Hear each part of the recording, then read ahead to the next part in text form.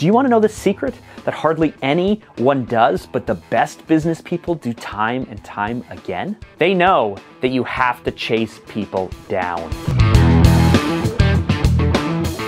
You are a polite person, but following up with people effectively, being able to put yourself in front of people and continue the conversation is not rude.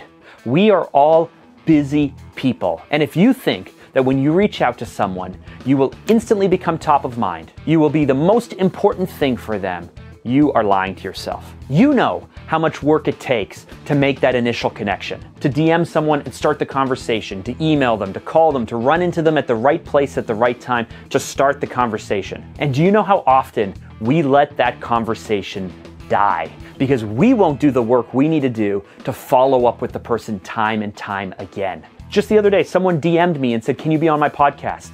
I responded the same day and said, Sure, let me know how you want to do it and send me a few times. It has now been six days. I don't really care that much to chase them down. And so they are letting this opportunity get away from them. The longer that they wait, the more foolish they're gonna feel. They're gonna think, oh man, I shouldn't have let it go. Suddenly, you know, in three or four months, they're gonna they're gonna reach back out to me and say, hey Mark, if you recall, I asked if you can be on a podcast. Can you be now?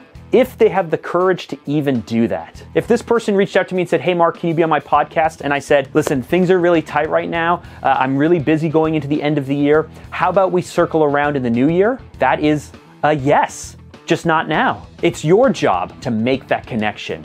But once that connection is made, do not let it go. It's your job to stay on top of it, to keep the communication going, to keep asking until they outright tell you to go away or no. No is a no. But anything short of no thank you, stop contacting me, then it's your job to stay in touch with them. It's your job to follow up with them. It's your job to wait because today's not now may be tomorrow's yes. How often do you allow this to happen in sales? How often do you allow this to happen when you're reaching out for your podcast or your partnerships or you're looking to co op on something with someone? Sure, there's an initial excitement, there's the initial reach out. You had to gain all your courage just to be able to do the initial thing. But then you have to do the work of the follow up. Don't allow these opportunities to slip away.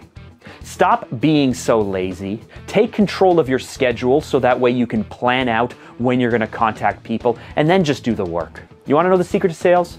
You want to know the secrets to the best partnerships? It's the people who are willing to stay in front of people time and time again. Chase them down, make the connection, do the follow ups, stay on top of it. If you would like to learn how to identify your target market, check out this video. I think you'd like it a lot and it would mean the world to me if you subscribe to my channel.